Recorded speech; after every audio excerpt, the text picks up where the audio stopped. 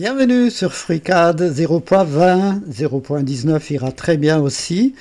Je suis toujours euh, sur Artix Linux et j'invite les inventeurs, les constructeurs d'automates à une petite démo. Si vous construisez des automates où il y a pas mal de cam, si vous, êtes dans la construction mécanique, par exemple, pour créer des barrières pour boîtes de vitesse séquentielles, voilà, vous serez amené à créer ce genre de rainure.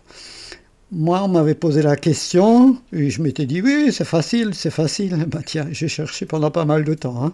Je peux vous lire des semaines que je cherche, pas en continu, mais euh, je cherche.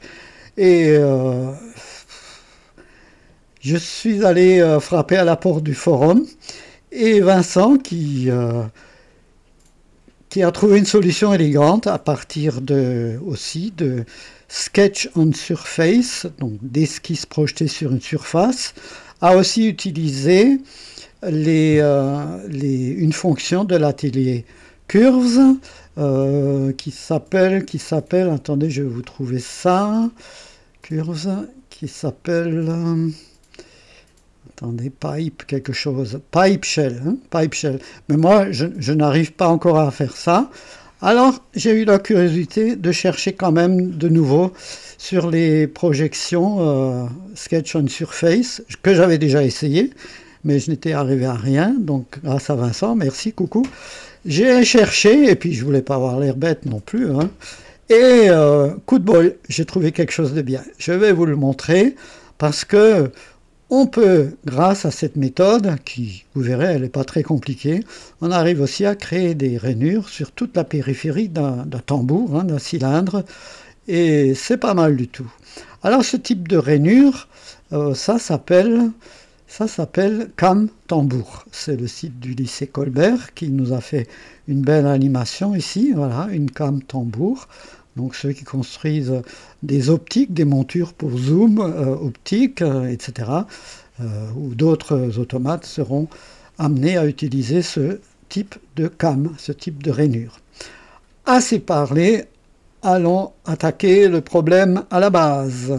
Nous allons donc essayer de reproduire cet exemple donc de, de, de cam, de cam, de barillet, comment ils appellent ça? Je vais utiliser de cam tambour. Et je vais vous montrer un peu les dimensions. Donc on a un tube qui fait 40 mm en interne, 60 mm en externe.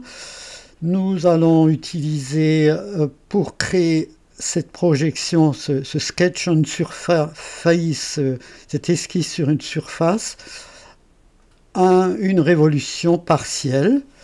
Voilà.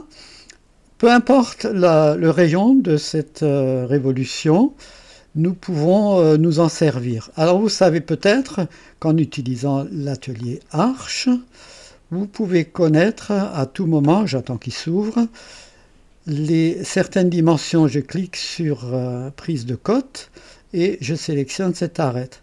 Donc j'ai la longueur 23,56 mm, la longueur de cette arête ici.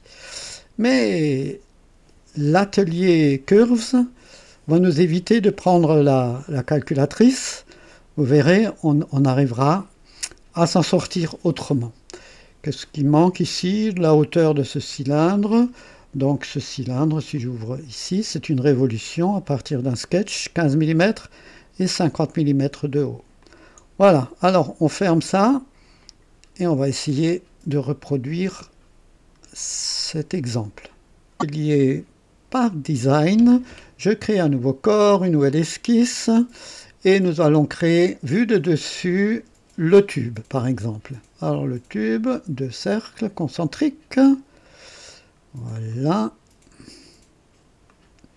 Alors c'était du 40-60, je crois. 40 intérieur et 60 à l'extérieur. Voilà. Je vais en créer une protrusion symétrique de 50 mm. Voilà, nous avons déjà le tube. Je vais tout de suite sous description cliquer et presser F2 et j'écris tube. Voilà. nous pouvons maintenant ajouter l'élément suivant qui sera très très utile. C'est la révolution qui va nous permettre de dessiner la, forme de la rainure, hein, le, chemin de la rainure. Je crée donc un nouveau corps, une nouvelle esquisse, et celle-ci, nous allons la dessiner vue de, ben, par exemple, en YZ. Voilà. Je vais tracer un rectangle. Alors, je vais l'attacher là-dessus. Je vais aller là. J'indique, je crois que c'était 15 mm. Peu importe, hein, il faut que ce soit un peu plus petit un peu plus petit de préférence que, que le diamètre interne. Ça évitera de, de, la gymnastique par la suite. Ici, je vais indiquer une hauteur de 50 mm. Et j'ai oublié quelque chose, la symétrie entre ces deux points et la ligne X. Je presse S ou je clique là-dessus. Voilà, j'ai la symétrie. Tout est vert. Je peux à présent créer une révolution à partir de ce sketch 001, mais une euh, révolution partielle, symétrique au plan. Les 90 degrés, c'est arbitraire de ma part, selon les besoins, on peut l'élargir euh, ou rétrécir cet angle. Donc on a ça. Et maintenant, lisez le wiki sur les sketch on surface parce qu'il y a deux moyens de les faire. Moi, je les ai déjà montrés dans d'autres vidéos pour mettre des petites fleurs sur des, sur des poteries, par exemple, ou pour euh, mettre du texte sur quelque chose.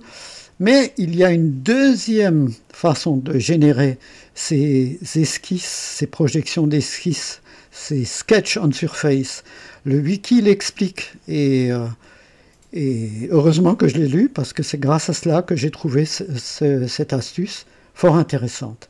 En fait, vous sélectionnez la face, vous ouvrez l'atelier Curves, si vous ne l'avez pas, vous allez dans Outils, Gestionnaire d'add vous l'installez, et une fois dans cet atelier, vous, et cette surface sélectionnée, vous cliquez sur l'icône Sketch on Surface. Et là, vous voyez un sketch qui est apparu qui s'appelle Mappet Sketch, dans lequel il n'y a rien. Mais c'est pas sûr. Si je clique dessus, que je l'ouvre, regardez, 50 mm et 23,56 et des poussières. C'est bien la longueur de cette ligne-là. Très intéressant. Je peux donc utiliser ce sketch pour euh, tracer la, la forme de ma rainure donc je vais l'accrocher là-dessus. Je vais l'accrocher encore une fois là-dessus. Je presse M une fois, deux fois, trois fois. Je trace un arc jusqu'à ici. Clic droit, je sors. Encore une fois, clic droit. Je vais accrocher ce point sur cette ligne en pressant O. Et je vais indiquer quelques petites euh, cotes. On va mettre 10 mm ici. De là à là. On va indiquer ben, 8 mm, allez hop, 8 mm, tout est vert, c'est très bien. Si je ferme et que je passe en mode filaire ombré, eh bien regardez, on voit la projection de cette ligne sur cette face. Elle se projette à l'envers, enfin l'envers, elle se projette dans ce sens, c'est pas bien grave, hein. on pourra toujours retourner cette pièce ou dessiner dans l'autre sens. Et regardez, si je sélectionne ce Sketch on Surface, vous voyez, ça devient jaune à droite ici la ligne s'est bien mise sur l'arête de la révolution, pareillement ici. Donc on peut jouer là-dessus et euh, on a quelque chose de très bien. Ce Sketch on Surface propose des options très intéressantes. On peut par exemple créer des offsets, ça je vous l'avais montré dans d'autres vidéos pour le, distancier ou le, mettre à l'intérieur.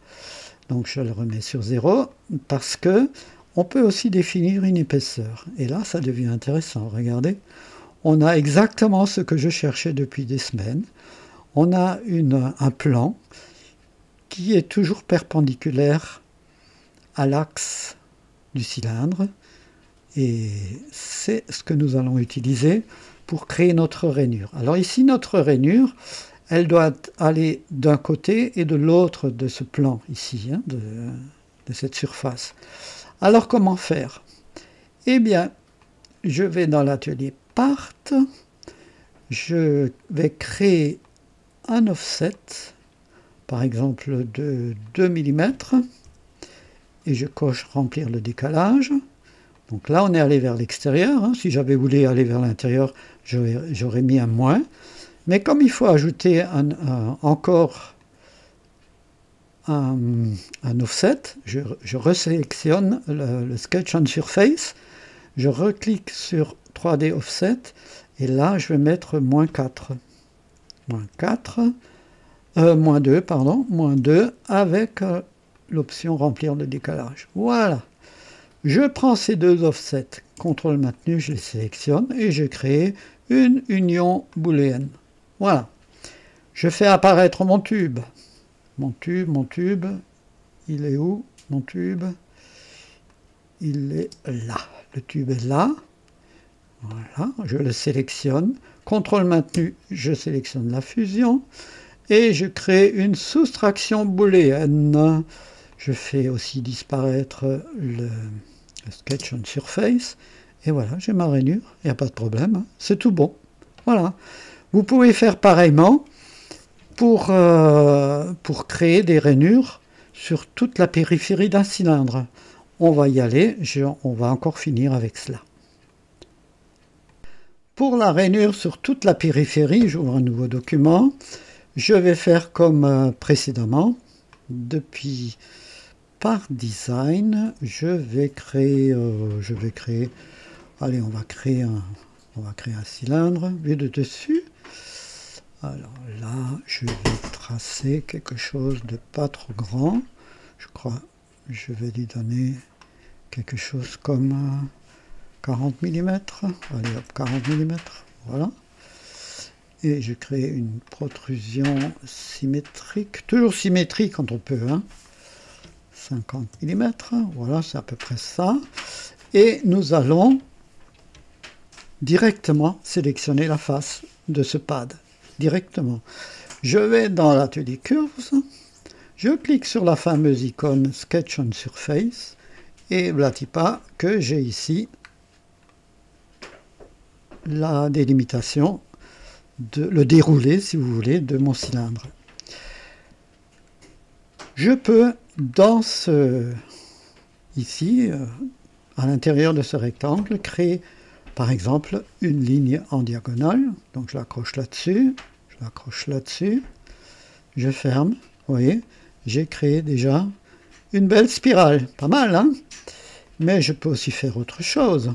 Je peux par exemple la supprimer. Je prends la...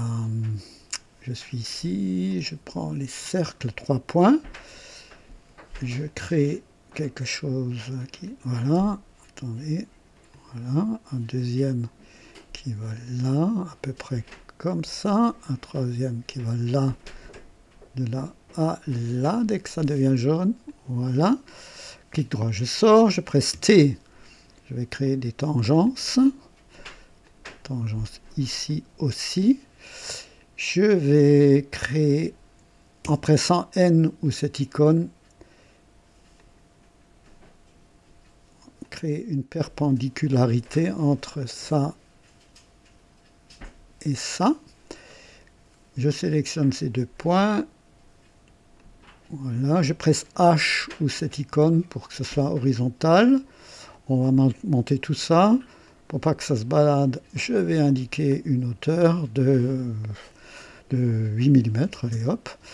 Et je peux donc aussi pour euh, faire quelque chose de régulier. Presser sur E ou équivalent, ici, égal. Hein. Voilà, pour que ces trois lignes aient la même dimension. Voilà, à peu près comme ça. Et je me retrouve donc avec une, belle euh, forme sinusoïdale. Et là, comme précédemment, Sketch on Surface. Thickness, je peux lui mettre 10 mm. Mais je peux aussi euh, user ici d'un offset de 1, 2, 3, 4 mm. moins 4, pardon, autant pour moi.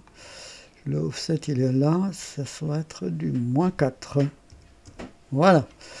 Je vais dans Part Design. Je sélectionne donc mon Sketch on Surface, par Part Design, désolé, Part. Je crée un 3D offset de, bon allez hop, 5 mm. Remplir le décalage. OK. Et là, pareil, je sélectionne CTRL maintenu dans, dans cet ordre. Je masque ça. Et voilà ma fameuse, comment on appelle ça, cam tambour qui est créée.